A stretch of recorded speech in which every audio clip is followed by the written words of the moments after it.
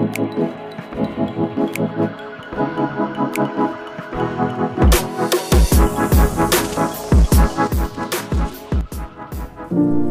বাগান। নামটি মাথায় আসলেই আমাদের মনের ক্যানভাসে ভেসে ওঠে দিগন্ত বিস্তৃত সবুজের সমারোহ। এই সবুজের সমারোহের রাজকন্যা হচ্ছে সিলেট অঞ্চলের চা বাগান। ভ্রমণ পিপাসু লোকের মাঝে এই অঞ্চল জনপ্রিয়, কারণ ছোট বড় টিলার গায়ে ঢেউ তুলে সাজানো আছে এসব চা বাগান। তাই এই অঞ্চলের সৌন্দর্যটা কিছুটা আপেক্ষিক।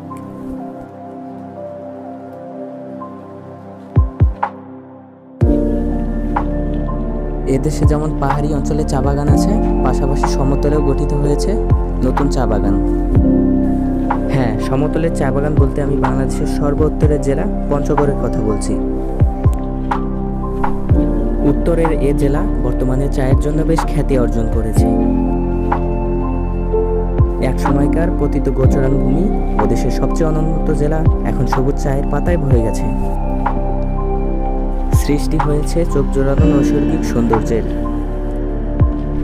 দেশের চাহিদা মিটিয়ে এখানকার চা এখন রপ্তানি হচ্ছে দুবাই, জাপান ও আমেরিকায়। এখানকার অর্গানিক চা বিক্রি হচ্ছে লন্ডনের হ্যারড অকশন মার্কেটে।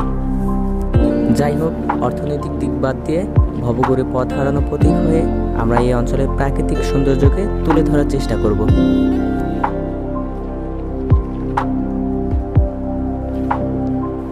সম্পূর্ণ ট্রিপের জন্য আমরা এই গাড়িটা রিজার্ভ করেছিলাম।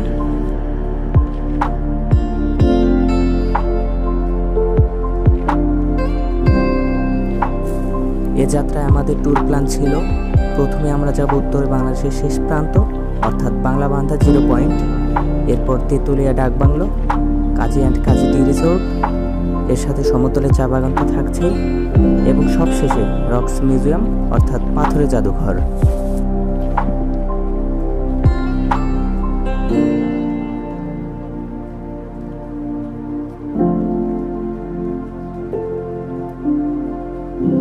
আড্ডা, গান আর গল্প করতে করতে আমরা একসময় এই জায়গায় চলে আসি, যেখান থেকে রাস্তা দুই ভাগে বিভক্ত। বাম দিকের রাস্তাটা চলে গেছে তেঁতুলিয়া এবং ডান দিকেরটা বাংলা বাঁধা তো আমাদের প্ল্যান অনুযায়ী আমরা ডান দিকের রাস্তা অর্থাৎ বাংলা বান্ধার দিকে যাত্রা শুরু করলাম। এখান থেকে বাংলা বান্ধার দূরত্ব হচ্ছে অলমোস্ট একুশ কিলোমিটার। আর গাড়ির গতি অনুযায়ী সময় লাগতে পারে পনেরো থেকে বিশ মিনিট।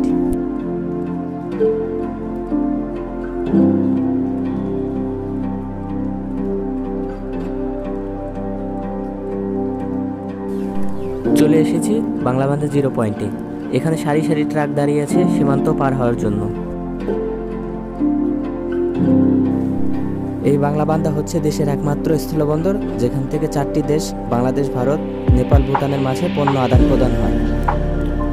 বাংলাদেশের মানচিত্রের সর্ব উত্তরের স্থান হচ্ছে এই বাংলাবান্ধা বাংলাদেশ সংসদের এক নাম্বার আসনটিও শুরু হয়েছে এখান থেকে।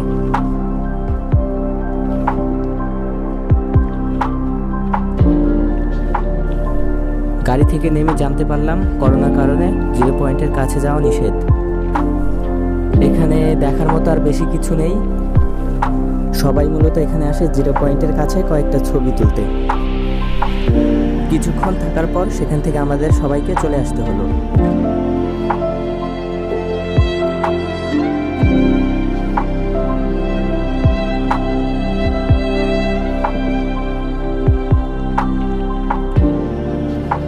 সবার পেটে ক্ষুধা, তাই ভাবলাম তেঁতুলে গিয়ে দুপুরের খাবারটা সেরে ফেলি।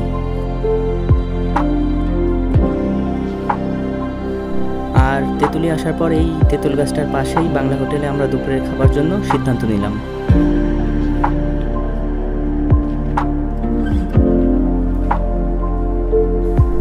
আমার জানা মতে এই তেঁতুল গাছটির নাম অনুসারেই কিন্তু এই জায়গার নাম হয়েছে তেঁতুলিয়া। দুপুরের খাবার শেষ করেই ড্রাইভার আমাদেরকে নিয়ে যাত্রা শুরু করল রসনপুর, অর্থাৎ কাজী অ্যান্ড কাজী টি রিসোর্টের দিকে। আমাদের প্ল্যান অনুযায়ী দ্বিতীয় জায়গাটি কিন্তু ছিল তেঁতুলিয়া ডাকবাংলো এবং পিকনিক স্পট। জিরো পয়েন্টে ঢুকতে না পারার হতাশা আর ক্ষুধা, দুই মিলিয়েই ডাকবাংলোটাও এখন পেছনে ফেলে রেখে এসেছি। মহানন্দা নদীর তীর ঘেঁষে বাংলাবান্ধা থেকে তেঁতুলিয়া আসার সময় পথে ইকো পার্কে দেখেছিলাম।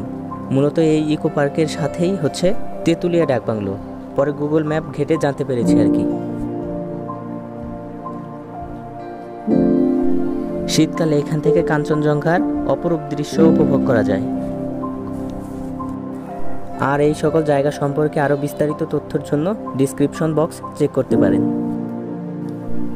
কাজে অ্যান্ড কাজে টি রিসোর্টের দিকে চলতে চলতে আমাদের গাড়ির ড্রাইভার এক সময় পথ হারিয়ে ফেলে। আর পথ ভুলে আমরা যেন সবুজের মাঝে হারিয়ে গিয়েছিলাম।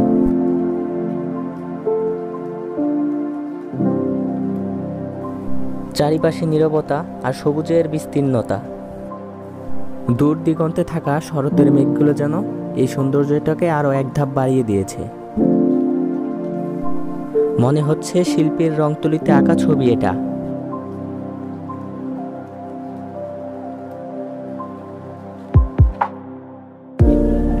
গাড়ি ঘুরিয়ে আমরা চলতে শুরু করলাম। ভুল রাস্তা থেকে বেরিয়ে এবার আমরা এসেছি মিনিমিনা বাজার। মূলত এটা হচ্ছে একটা রেস্টুরেন্ট, আর এর পাশে রয়েছে ছোট্ট একটা পার্ক। আর এখানে আসার পর আমাদের গ্রুপের অন্যান্য সদস্যরা যেন তাদের শৈশবকে ফিরে পেয়েছিল। আর আপনারা নিজেরাই দেখে নিন পার্কের সৌন্দর্যে বিমোহিত হওয়া সেই শিশুদেরকে।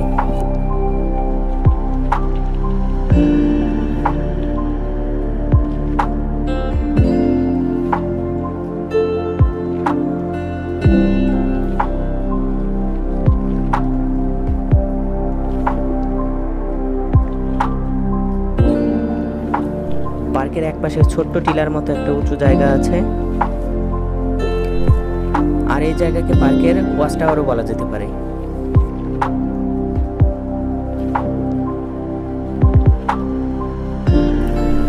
এখান থেকে আমরা এখন যাব ব্যাচেলর অফিসার্স কোয়ার্টারের দিকে। সেখানে যাওয়ার সময় আপনি রাস্তার পাশেই কাজী গ্রুপের নিজস্ব ফার্ম দেখতে পাবেন। সেখান থেকে একটু এগোলেই ব্যাচেলর অফিসার্স কোয়ার্টার। চারিপাশে চির সবুজ আর মাঝখানে এই ভবন। এ যেন সবুজের মাঝে এক শান্তির রাজপ্রাসাদ। এতদিন অপটেটিভ সেন্টেন্সগুলো তো অনেক পড়েছেন, যে I wish I are a bird I are a king এখানে আসলে আপনার সেই ইচ্ছাসূচক বাক্যগুলো মনের মাঝে আসতে পারে। চা খেতে ভালোবাসে না, এমন লোক খুঁজে পাওয়া দুষ্কর। আর তেঁতুলিয়া যেহেতু চার জন্য বিখ্যাত, তাই অনেকেই ঘুরতে আসলে এখান থেকে চা পাতা কিনে নিয়ে যায়। অবশ্য এরকম গাছের পাতা নয়, কাজী অ্যান্ড কাজী গ্রুপের অনেক প্রকারের চা আছে, সেগুলো কিনতে পারেন। আর চা পাতা যদি কিনতে হয় তাহলে দু জায়গা থেকে কিনতে পারেন। প্রথমটি হচ্ছে মিনিমিনা বাজার এবং দ্বিতীয়টি হারাদিঘি মিষ্টিঘর অর্থাৎ ব্যাচেলার অফিসার্স কোয়ার্টারের সামনের দিকের এই কক্ষটা। আর এই দোকানের দেলোয়ার ভাই বেশ হাসি খুশি এবং অতিথিপ্রিয় একজন লোক।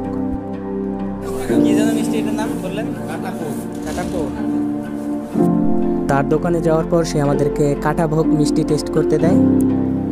আর শুধু চা নয় এখানে পাওয়া যায় অর্গানিক মিষ্টি বিভিন্ন প্রকারের চকলেট বিস্কিট মিনারেল ওয়াটার সহ বেশ কয়েক প্রকারের খাদ্যদ্রব্য। কয় প্রকারের চা আছে আছে প্রায় তেরো প্রকারের চা আছে কিন্তু আমাদের এখানে অ্যাভেলেবেল না ওনার জন্য আমাদের চা আসছে না চা ছিল শেষ হয়ে যাচ্ছে এটা হচ্ছে আট হাজার দুশো পঞ্চাশ টাকা পার কেজি এটা তিনশো টাকা টোয়েন্টি ফাইভ তো এটা হচ্ছে এখানকার মধ্যে সবচেয়ে দামি চা। এই চা বেশিরভাগ বিদেশিদের কাছে বেশি প্রিয়, কারণ বাংলাদেশের মানুষ করালিগারের চা খেতেই বেশি পছন্দ করে। আর আমাদের জন্য পারফেক্ট একটা চা হচ্ছে এই ব্ল্যাক টি। আপনারা আপনার পছন্দ অনুযায়ী এখান থেকে চা পাতা কিনে নিয়ে যেতে পারেন। এর দামটাও রিজনেবল এবং স্বাদটাও মোটামুটি ভালো। এখান থেকে কাজী অ্যান্ড কাজী টি রিসোর্টের দিকে যাওয়ার সিদ্ধান্ত ছিল। কিন্তু দিলওয়ার ভাইয়ের কাছ থেকে পরে জানতে পারি যে বর্তমান করোনা পরিস্থিতির কারণে সেখানে কাউকে যেতে দেয় না। এই কথা শোনার পর আমরা সবাই আবারও হতাশ হলাম। এই যাত্রা কি তবে আমাদের জন্য বৃথা? এই ট্রিপটা ছিল আমাদের জন্য ভবঘুরে। এতক্ষণে প্রায় বিকেল হয়ে এসেছে আর আমরা সবাই প্রকৃতির সাথে নিজেদেরকে ক্যামেরাবন্দি করে রেখে দিলাম।